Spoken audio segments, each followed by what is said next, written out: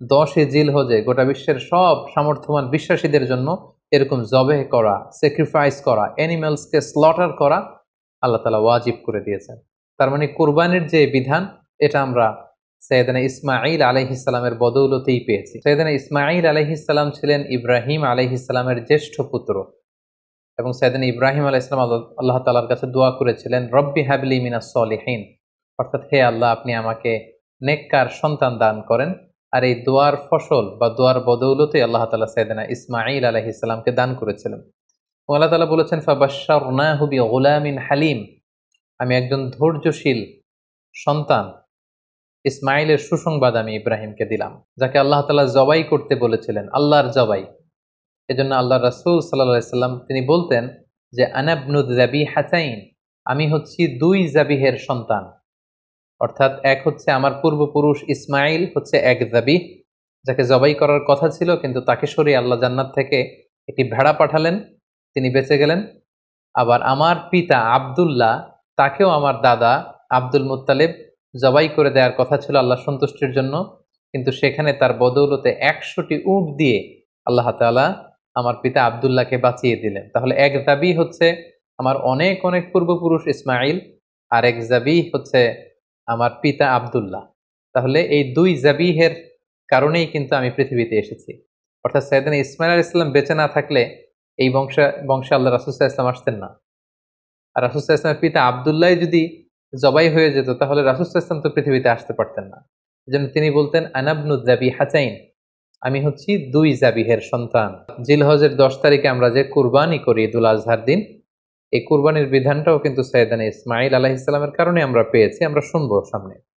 পাশাপাশি কাবা নির্মাণের সাথেও কিন্তু সৈয়দানা ইসমাইল আলাহ ইসলাম ওতপ্রোতভাবে জড়িত। কারণ ইব্রাহিম আলাহ ইসলাম প্রধান রাজমিস্ত্রির ভূমিকায় অবতীর্ণ হয়েছিলেন আর ওনার সাথে সাপোর্ট দেওয়ার জন্য, সহযোগিতার জন্য সৈয়দানা ইসমাইল ইসলাম পাথর বয়ে বয়ে পাথর টেনে পিতার হাতে দিতেন। সৈয়দানা ইসমাইল আলহি ইসলামের জন্ম হয়েছিল ফিলিস্তিনে, কিন্তু সেখানে তিনি থাকতে পারেননি। আল্লাহ তালার আদেশে ওনার পিতা ইব্রাহিম আলহ ইসলাম হাজারকে এবং ইসমাইলকে মক্কার মরু জমিনে রেখে দিয়ে যায়। সারা চাচ্ছিল যে হাজার এবং ইসমাইল যাতে ফিলিস্তিনে না থাকে। পাশাপাশি আল্লাহ তালাও আদেশ করলেন যে, প্রিয় কলেজার টুকরা সন্তানকে মক্কার মরু জমিনে তুমি রেখে দিয়ে আসো। ইব্রাহিম ইসলাম তাই করলেন। কলেজার টুকরা সন্তান ইসমাইল ইসলামকে এবং তার মা হাজেরাকে মরুভূমিতে রেখে দিয়ে চলে গেলেন। একা ধুধু প্রান্তরে হাজেরার কাছে কিছু নেই, সামান্য কিছু খেজুর আর এক মশক পানি। এক দুই দিন যাওয়ার পরে এই খেজুরও শেষ, পানিও শেষ। কোনো খাবার যেহেতু নেই, হাজেরার স্তনে দুধও নেই। দুধের বাচ্চা ইসমাইলকে খাওয়ানোর মতো কিছু নেই। আল্লাহর এই নবী, সৈয়দান ইসমাইল আলহিসাল্লাম দুধের বাচ্চা তিনি ছটফট করছিলেন। ক্ষুধার যন্ত্রণায়, পানির তৃষ্ণায় সৈয়দানা ইসমাইল আলহিসাল্লাম মক্কার মরু জমিনের মধ্যে তিনি ছটফট করছেন। এই কঠিন দৃশ্য দেখে ধৈর্য ধারণ করা হাজারার পক্ষে সম্ভব ছিল না। তিনি সাইদান ইসমাইল ইসলামকে মরুভূমির মধ্যে রেখে পানির সন্ধানে পাশে একটা ছোট্ট পাহাড় ছিল, পাহাড়টির নাম হচ্ছে সাফা। এই সাফা পাহাড়ের উপরে তিনি আরোহণ করলেন। দূর মরুভূমির এদিক সেদিক তিনি খুঁজতে আরম্ভ করলেন। কোনো কাফলা দেখা যায় কিনা, কাউকে দেখা যায় কিনা, পানির কোনো সন্ধান করা যায় কিনা, না। তিনি কাউকে দেখতে পাচ্ছেন না। আবার তিনি সাফা পাহাড় থেকে নেমে পাশে আরেকটা পাহাড় ছিল, সেটার নাম হচ্ছে মারোয়া দৌড়ে যে মারোয়াতে উঠলেন। এবার আবার মরুভূমির দিকে তিনি তাকালেন যে কোনো কাফেলা দেখা যায় কিনা, কোনো জনমানুষ দেখা যায় কিনা, পানির কোনো সন্ধান মিলে কিনা, কিন্তু না, তিনি কাউকে দেখতে পেলেন না। আবার তিনি মারোয়া থেকে নেমে এসে সাফায় উঠলেন, আবার সাফা থেকে মারোয়ায়। এভাবে তিনি পানির সন্ধানের জন্য সাফা থেকে মারোয়া পাহাড়ের মাঝখানে সেই তপ্ত মরুর বুকে সাতবার তিনি দৌড়াদৌড়ি করেছিলেন।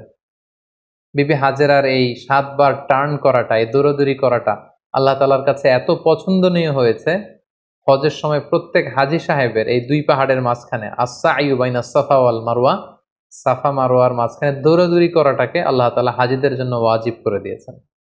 হঠাৎ আল্লাহ তখন ফেরেস্তা পাঠালেন। ফেরেস্তা বলল, হাজার, তুমি যাও।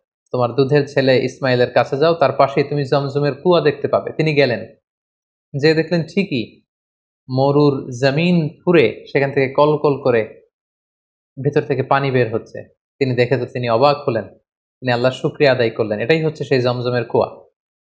এবং সেখান থেকে তিনি পানি পান করলেন, মশকের ভেতরে পানি ভরে রাখলেন, দুধের শিশু ইসমাইলকে পানি পান করালেন। তিনি দেখতে পেলেন পানি শুধু বেরোচ্ছে আর বেরোচ্ছে। পানি যেন চলে না যায় চারদিকে, তিনি বালু দিয়ে বাদ দিতে লাগলেন। আমরা যেমনি পানি ঠেকানোর জন্য বেরি বাদ দেই, তেমনি হাজার তিনি বালু দিয়ে বাদ দিতে লাগলেন।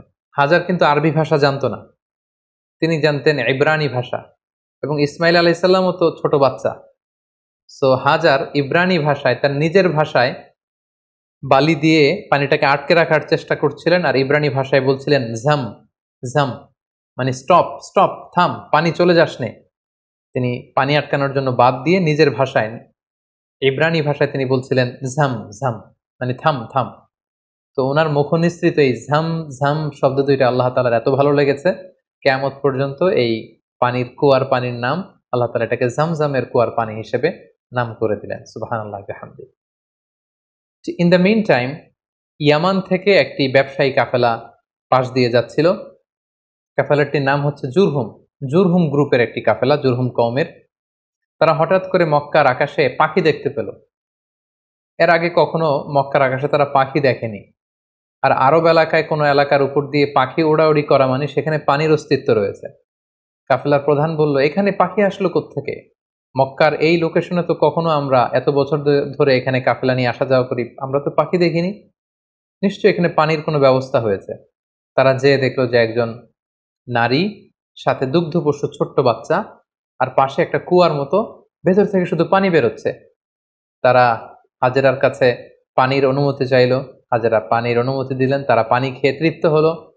তারা বলল যে, আপনি যদি অনুমতি দেন তাহলে আমরা এই পানির আশেপাশে বসতি করতে চাই এবং আমাদের এলাকাবাসীদের সবাইকে এনে এখানে রাখতে চাই। বিবে হাজারা বললেন হ্যাঁ অবশ্যই, তোমরা আসতে পারো, পানি খেতে পারো, এখানে বসতি স্থাপন করতে পারো। তবে মনে রেখো, এই জমজমের মালিকানা তোমাদের থাকবে না ওনারশিপ থাকবে আমার কাছে। জনমানুষের আগমন ঘটতে আরম্ভ করল।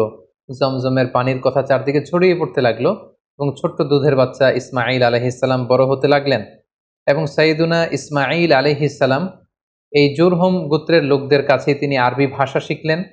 তাদের ছেলে মেয়েদের সাথে তিনি বড় হতে লাগলেন। অরিজিনালি তারা ছিলেন ইব্রানি ভাষার লোক, কিন্তু এখানে তিনি আরবি ভাষা শিখে ফেললেন। সেদিনে ইসমাইল আলহিসাল্লাম এই জোরহুম কৌমের লোকদের কাছেই বড় হতে লাগলেন। সেখানকার ছেলে মেয়েদের সাথে তিনি কথা বলতে বলতে আরবি ভাষা শিখে ফেললেন। উনি ছিলেন ইব্রানি ভাষার মানুষ, কিন্তু তাদের কাছ থেকে তিনি আরবি ভাষা একেবারে পরিপক্ক হলেন। তার বয়স যখন ১৩ বছর ঠিক তখন আল্লাহ তালা তার পিতা সৈয়দনা ইব্রাহিম আলাইসাল্লামকে স্বপ্নে দেখালেন যে, ইব্রাহিম, তুমি তোমার সবচাইতে পছন্দনীয় বস্তুটি আল্লাহ রাস্তায় কুরবানি করো। একাধিকবার তিনি স্বপ্নটি দেখলেন এবং ইব্রাহিম আলাইসাল্লাম বুঝতে পারলেন যে, আমার সবচাইতে পছন্দনীয় হচ্ছে আমার ছেলে ইসমাইল যাকে আমি আল্লাহর আদেশে সেই মক্কার মরুভূমিতে রেখে এসেছি। আজ তেরোটি বছর আমি ফিলিস্তিনে আমার ছেলেকে অনেক মিস করছি। না জানি আমার ইসমাইল দেখতে কতটুকু হয়েছে, না জানি আমার ইসমাইল কত বড় হয়েছে, দেখতে কত সুন্দর হয়েছে। ইব্রাহিম আলাইসাল্লামের হৃদয়ে ছেলে ইসমাইলের মায়া, ভালোবাসা যখন প্রবলভাবে জন্মালো, ঠিক ওই মুহূর্তে তিনি স্বপ্নে দেখলেন যে আল্লাহ তালা ইসমাইল আলাহিসাল্লামকে কোরবানি করে দেওয়ার জন্য, জবাই করে দেওয়ার জন্য আদেশ করছেন। তিনি আল্লাহ তালার আদেশে ফিলিস্তিন থেকে মক্কায় চলে আসলেন।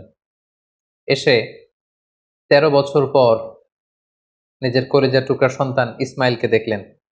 কিন্তু এই ছেলেকেও তিনি বেশি দিন ধরে রাখতে পারবেন না, কারণ আল্লাহ তালার আদেশে তাকে জবাই করতে হবে। তিনি ছেলের সাথে কনসাল্ট করলেন। বাবা ছেলের কনভারসেশনটা কেমন ছিল? আল্লাহ তালা সুরাতুস সফাতে খুব চমৎকারভাবে বলছেন, ফালাম্মা বালাগা মাআহু সাইয়া, ক্বালা ইয়া বুনাইয়া, ইন্নী আরা ফিল ইসমাইল যখন একটু হাঁটতে পারে, দৌড়াতে পারে, ছোটাছুটি করতে পারে, এই বয়সে যখন পৌঁছলো ইব্রাহিম আলাইসাল্লাম এসে বললেন, হে আমার কলেজার টুকরা সন্তান, আমি স্বপ্নে দেখেছি যে আমি তোমাকে জবাই করছি।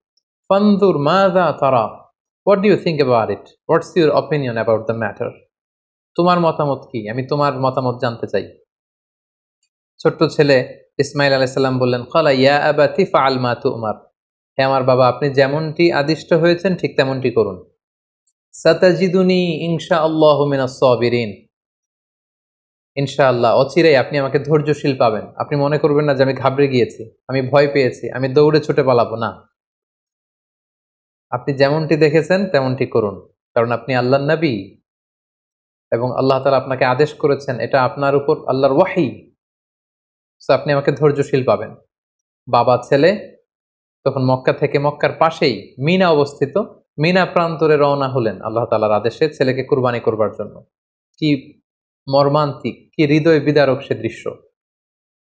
এবং সৈয়দানা ইসমাইল আলাইসাল্লাম বললেন, বাবা, আমার চেহারার দিকে তাকিয়ে আপনি ছুরি চালাতে আপনার বড্ড মায়া লেগে যাবে, কষ্ট লেগে যাবে। আপনি আমাকে উল্টো করে শুইয়ে দিন, অর্থাৎ আমার চেহারাটা থাকবে মাটির দিকে, আপনি পেছন দিক থেকে আমাকে জবাই করুন। আল্লাহ তালা বলছেন, ফালাম্মা আসলামা ওয়াতাল্লাহুল জাবিন। দুইজনেই যখন সারেন্ডার করল মানে তাদের হৃদয়ে তখন আল্লাহর ভালোবাসা আল্লাহর আনুগত্যের এই ব্যাপারটা ছাড়া আর কোনো কিছুই নেই। সাইদানা ইব্রাহিম ছেলেকে হৃদয় থেকে সরিয়ে সেখানে আল্লাহর আদেশকে, আল্লাহর ভালোবাসাকে স্থান দিয়েছে। ছোট্ট ছেলে ইসমাইলও আল্লাহর ভয়ে রাজি হয়ে গিয়েছে। সেদিন ইব্রাহিম আলাইসাল্লাম তখন ইসমাইল আলাইসাল্লামের গলার মধ্যে ছুরি চালাবেন। আসলে এতটুকু পর্যন্ত অগ্রসর হওয়াটাই আল্লাহ তালা চেয়েছিলেন। আল্লাহ তালা চাননি যে পিতা ইব্রাহিমের কাছ থেকে শিশু ইসমাইলকে ছিনিয়ে নিতে। আল্লাহ তালা চেয়েছেন যে ইসমাইলের স্থান, ইব্রাহিমের হৃদয়ে বড় নাকি আমি আল্লাহর স্থান বড়। তিনি যখন ছুরি চালাবেন, পেছন থেকে ডাক আসলো ওয়ানা দাইনা হাইয়া ইব্রাহিম। হে ইব্রাহিম, স্টপ! আর সামনে আগ বাড়ানো যাবে না, এখানেই থামো। কৎসাদ্দাক্তার রুইয়া, তুমি তোমার স্বপ্নকে বাস্তবায়ন করেছ। তুমি তোমার স্বপ্নকে বাস্তবায়ন করে দেখিয়ে দিয়েছ। ইন্না কাযালিকা নাজজিল মুহসিনিন। এভাবেই আমি যারা সৎকর্ম পরায়ণশীল তাদেরকে প্রতিদান দিয়ে থাকি। ইন্না হাদা বালা উল মুবিন। নিশ্চয়ই এটা অনেক বড় পরীক্ষা।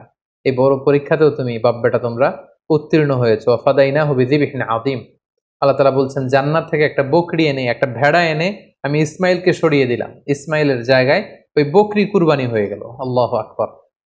সেদিন ইসমাইল আলাইসাল্লাম বেঁচে গেলেন। ওই যে মিনা প্রান্তরে সেদিন ইব্রাহিম আলাইসাল্লাম ছেলের বদলে বকরি জবাই করলেন। এই দৃশ্যটাও আল্লাহ তাল্লার এত ভালো লেগেছে, কেয়ামত পর্যন্ত দশে জিল হজে গোটা বিশ্বের সব সামর্থ্যবান বিশ্বাসীদের জন্য এরকম জবে করা স্যাক্রিফাইস করা অ্যানিমেলসকে স্লটার করা আল্লাহ তালা ওয়াজিব করে দিয়েছেন। তার মানে কোরবানির যে বিধান, এটা আমরা সৈয়দানা ইসমাইল আলহিসাল্লামের বদৌলতেই পেয়েছি। কেন আল্লাহ তালা এমনটি করলেন? আল্লাহ তালা চাইলেন যে আমি দেখতে চাই ইব্রাহিমের হৃদয়ে কে বড়? কলিজা টুকরার সন্তান ইসমাইল বড়, নাকি আমি আল্লাহ তালা বড়? এখান থেকে আমাদের জন্য শিক্ষা হচ্ছে, ইব্রাহিম আলাইসাল্লামের হৃদয়ে সবচাইতে পছন্দের জায়গাটা ছিল তার সন্তান ইসমাইল। কারণ ছিয়াশি বছর পর একটা সন্তান পেয়েছে। কত মায়ার জায়গায়, কত আদর এবং ভালোবাসার জায়গায় তিনি হৃদয়ে তাকে স্থান দিয়েছিলেন। আল্লাহ চেয়েছেন না, ওই জায়গায় যেন আল্লাহর ভালোবাসাটা থাকে। এজন্য ইব্রাহিম আলাইসাল্লামের উপর সবচেয়ে বড় পরীক্ষা তিনি চাপিয়ে দিয়েছিলেন। সম্মানিত ভাই এবং বোনেরা, আমাদের হৃদয়েও একটা ইসমাইল আছে। আমাদের কারও হৃদয়ের ইসমাইল হচ্ছে আমার টাকা। আমার, আমাদের কারও হৃদয়ের ইসমাইল হচ্ছে আমার ব্যাংক ব্যালেন্স কারও হৃদয়ের ইসমাইল হচ্ছে আমার গাড়ি, আমার, আমাদের কারও হৃদয়ের ইসমাইল হচ্ছে আমার যশ খ্যাতি। আল্লাহ তালা দেখতে চান যে সব কিছুকে আমরা আল্লাহর ভালোবাসার বিনিময়ে স্যাক্রিফাইস করতে পারি কিনা, কোরবানি করতে পারি কিনা, আল্লাহর জন্য সব কিছুকে আমরা উজাড় করে দিতে পারি কিনা, এটাই হচ্ছে কোরবানির শিক্ষা।